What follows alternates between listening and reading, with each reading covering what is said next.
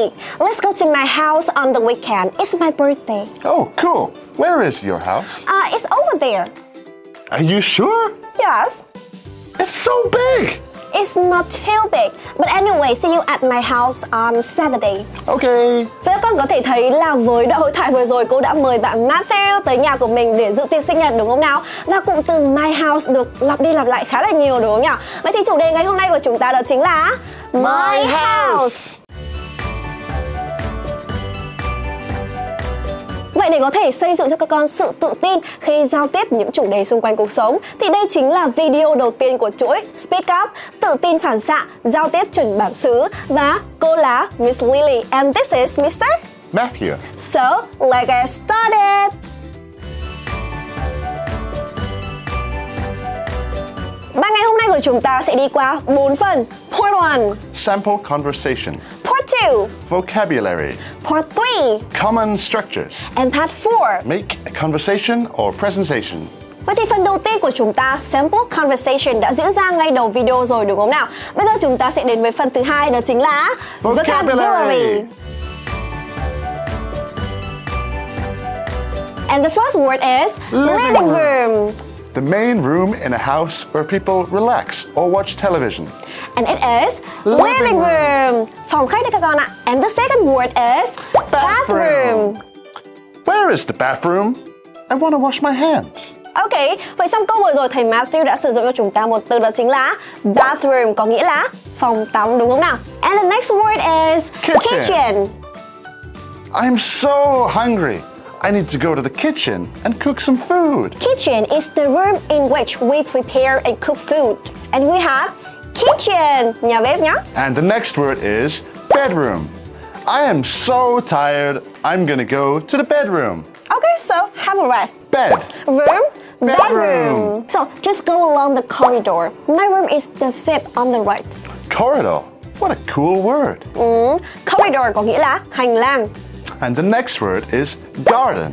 There are so many beautiful flowers in the garden. Did you grow them? No, my grandma did. Và chúng ta có từ garden có nghĩa là khu vườn. Vậy bây giờ chúng ta sẽ cùng ôn tập lại các từ vựng vừa học nhá. Living room, Bathroom. kitchen, Bedroom. garden, and corridor. Now, after learning some vocabulary, let's practice some common structures to use in the topic My House. Let's go. Đầu tiên để hỏi về kích thước của ngôi nhà chúng ta có thể sử dụng cấu trúc yes no question. For example, Is your house big or small? mm, my house is uh, quite small with just three rooms.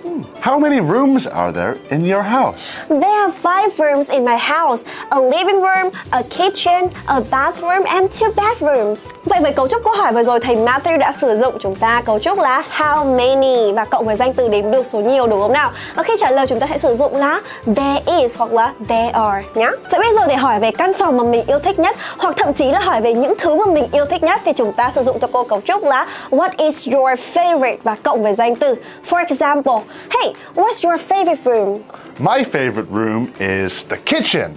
But another way to say it is I really like the kitchen. Vậy bây giờ chúng ta sẽ cùng cô sang với phần luyện tập. Chúng ta sẽ có hai phần. Đầu tiên là thực hành đoạn hội thoại và phần thứ hai là teaching. Vậy bây giờ sẽ cùng đến với cô phần đầu tiên đó chính là part one Conversation. conversation. Welcome to my house. Wow, such a nice garden. The flowers and trees are so beautiful. Yeah, thank you. Let's go inside. This is the living room? Yes, my family usually watch TV and talk in here. Hmm, Lily, I'm so hungry. Can we get something to eat?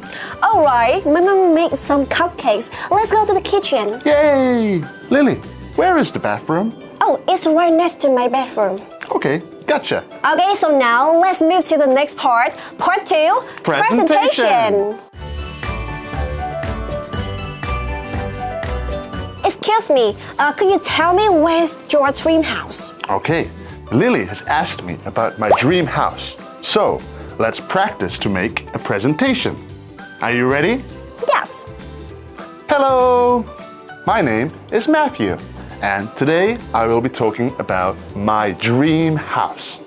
My dream house would be really big and have a really beautiful garden with lots of flowers and animals too. It will have two swimming pools. Inside the house, I will have 10 bedrooms and two kitchens, 11 bathrooms, three living rooms, and a really, really, really long corridor. And I have mm, seven cars Ooh. and 10 bikes, so I better park it in my really, really big garage. Yeah, so that is my dream house. Thank you for listening today. Goodbye!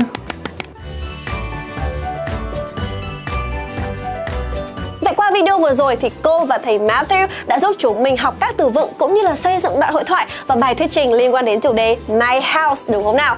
Hẹn gặp lại các con ở những video tiếp theo của Speak Up, tự tin phản xạ, giao tiếp chuẩn bản xứ. See you! Miss Law Junior, English for the future.